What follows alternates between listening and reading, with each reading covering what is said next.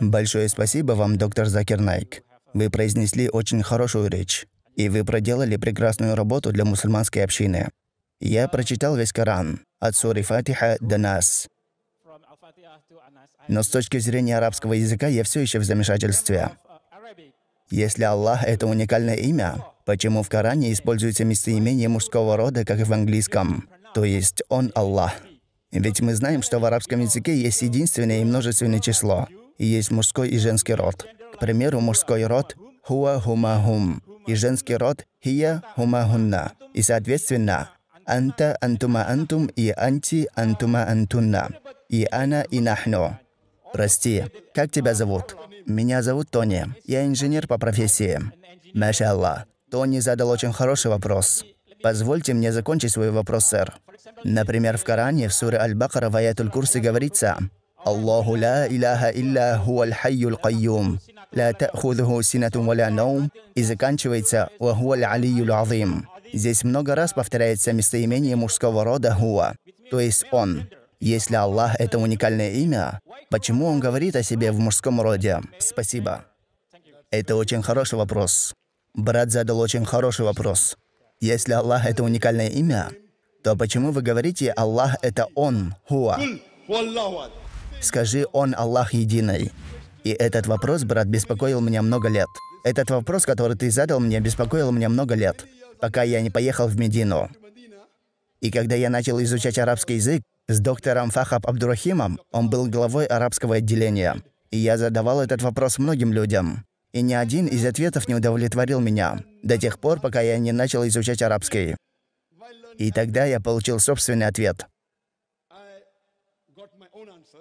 Аллах говорит в Коране, если вы не знаете, спросите людей напоминания.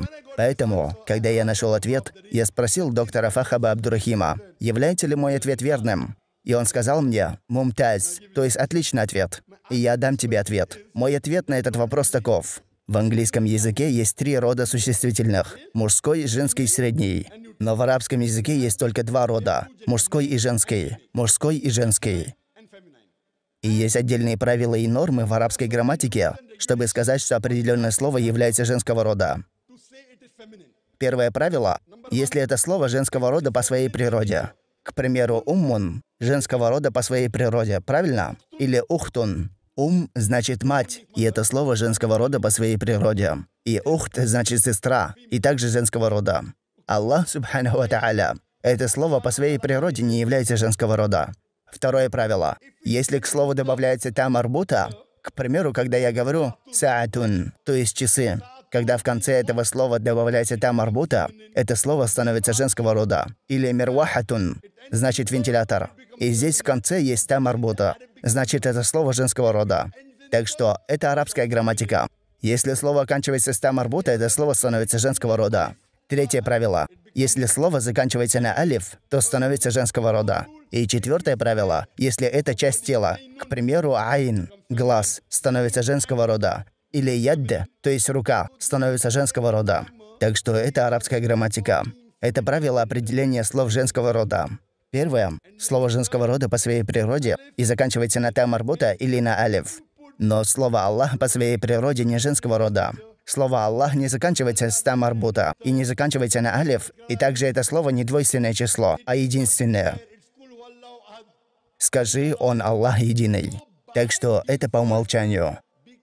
Потому что в арабском языке нет третьего рода, а у Аллаха, субханаху ва нет пола и рода. Поэтому мы по умолчанию говорим «Он». Ты ведь понимаешь? Да. Но Аллах, субханаху ва та'аля, нигде в Коране не говорит – что он является мужчиной или женщиной. Я согласен, что Аллах — это уникальное слово. Поэтому, по умолчанию, так как в арабской грамматике это слово не относится к женскому роду, мы говорим «он». «Куль ху Аллаху ахад». Скажи «Он Аллах единый». Ты понял? И также «Аллаху ла иляха илля хуаль хайюл кайюм». Снова говорится «он». Так что это по умолчанию. Но ты нигде не обнаружишь, что Аллах мужского пола. Но так говорится по умолчанию из-за арабского языка потому что в арабском языке есть только два рода. Если слово не женского рода, значит мужского. Поэтому мы используем слово «хуа». Надеюсь, я ответил на вопрос. Могу ли я задать еще один вопрос, сэр? Еще один вопрос? Да, еще один вопрос. он относится к пищевым ограничениям.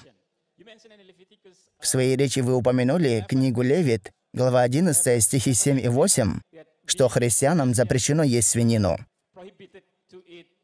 Но если вы посмотрите на предыдущие стихи, там также запрещено есть верблюдов, тушканчиков и зайцев. Если вы верите, что мы не должны есть свинину, вы также должны верить в эти предыдущие стихи, что нельзя есть верблюдов, тушканчиков и зайцев. Это правильно, сэр? Брат сказал, что я процитировал книгу Левит, глава 11, стихи 7 и 8, правильно? Где говорится, что христианам запрещено есть свинину. А до этого там сказано, что запрещено есть верблюдов, тушканчиков и зайцев. Так что правда ли это? Для тех людей, которые верят, что Библия — это Слово Божье, да, они обязаны следовать. Для меня же, я считаю, что Коран — это Слово Божье. И в Коране нигде не говорится, что верблюды запрещены в употреблении в пищу. Но в Коране только говорится, что запрещено есть свинину. Если ты веришь в Библию и веришь, что все, что написано в Библии, это истина, то ты должен следовать этому. То, что я говорил в своей речи, я говорил о сходствах между Библией и Кораном. Независимо от того, верблюд дозволен в употреблении или нет. Коран и Библия говорят, что свинина запрещена. Поэтому давай хотя бы согласимся на том, что не будем употреблять свинину. Правильно? Да. В Библии сказано, что употреблять верблюда в пищу запрещено. А в Коране сказано, что дозволено. Так что я говорил о сходствах, а насчет различий мы можем поговорить завтра, правильно? Если ты христианин, ты должен следовать. Я же не следую Библии. Я изначально не верю, что Библия — это Слово Божье. Ты понимаешь? Да, я понимаю. Но я верю, что Коран — это Слово Божье. Да, я христианин, я не ем свинину. И я обрезан. И я не пью алкоголь и не курю. Машаллах. Очень хорошо. Но, брат, ты веришь, что Иисус — это Бог? Или ты веришь, что Он посланник Бога? Да, я верю, что Иисус — это Бог, потому что многие... Ты веришь, что Иисус — это Бог или посланник Бога? Я все еще верю, что Он Бог, потому что в экзорцистском обряде, когда я кладу руку и изгоняю злого духа во имя Иисуса Христа, тогда злой дух уходит из этого человека через обряд экзорцизма. Я верю в это. Ты сказал, только потому что ты кладешь свою руку и говоришь «изыди во имя Иисуса», и злой дух уходит, правильно? Да, верно. Из-за Святого Духа. Но Иисус мир ему сказал в Евангелии от Марка, глава 13, стих 22. «Ибо появятся лжехристы и лжепророки, и будут являть вам знамения и чудеса моим именем». Он говорит, что лжехристы и лжепророки могут творить чудеса. Так что чудо — это не мерило. Класть руку и изгонять злого духа — это не доказательство, что Иисус — Бог. Если это так, тебе следует пойти в больницу и класть руку и лечить больных раком. Вы знаете христианских миссионеров? Они проводят сеансы исцеления. Я сказал им, почему вы исцеляете только в приходах? Почему не исцеляете на публике? Идите и лечите в больнице. Правильно? Да. Так что все это не что иное, как фейк. Если вы действительно можете исцелять людей, идите в больницу, и вы получите готовых клиентов. Зачем вам кардиологи? Зачем вам врачи? Идите и проведите сеанс исцеления. Все пациенты будут исцелены. Поэтому, брат, я все еще верю, что Иисус — это Бог, потому что Он сказал «Я Альфа и Омега». Да, я знаю. Брат, ты слушал мою лекцию? Я сказал, есть ли где-нибудь в Библии недвусмысленное утверждение, где Иисус Христос мир ему говорит, что я Бог или поклоняйтесь мне?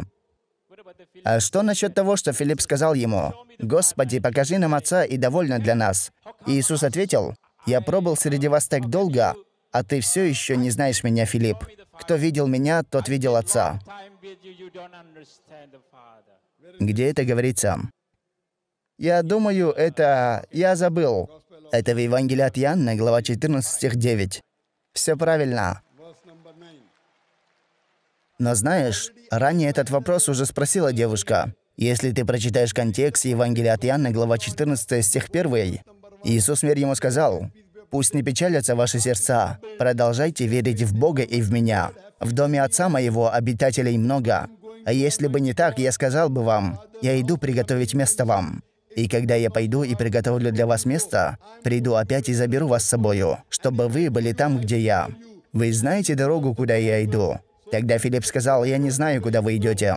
И тогда Иисус ответил, «Я ваш путь, истина и жизнь. Никто не придет к Отцу, кроме как через Меня». Это означает, что он посланник Бога. Каждый посланник в его время был путем истины и жизни. И ни один человек не проходит к Богу, кроме как через него. Иисус сказал, «Теперь ты знаешь путь. Если узнали Меня, то узнайте Отца. И с этого дня вы знаете Его и видели Его. И уже тогда Иисус сказал, «Кто видел Меня, видел Отца». Евангелие от Иоанна, глава 14, стих 9. «Кто видел Меня, видел Отца». В этом контексте «видеть» значит «знать».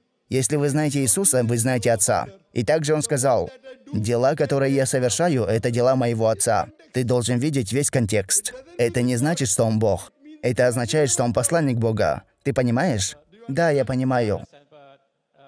Я хотел бы сказать напоследок, я все еще изучаю ислам. Я не смотрю на мусульман. Правильно, не смотри на мусульман. Но я смотрю на источники, Коран и хадисы. Потому что вы знаете, есть много разных мусульман, которых вы можете встретить. Я согласен с тобой. Брат, я посоветую тебе посмотреть мои видеокассеты.